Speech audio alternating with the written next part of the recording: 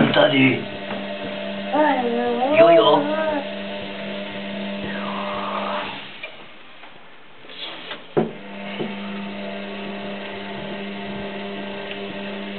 Tam je sníh. Je tam sníh.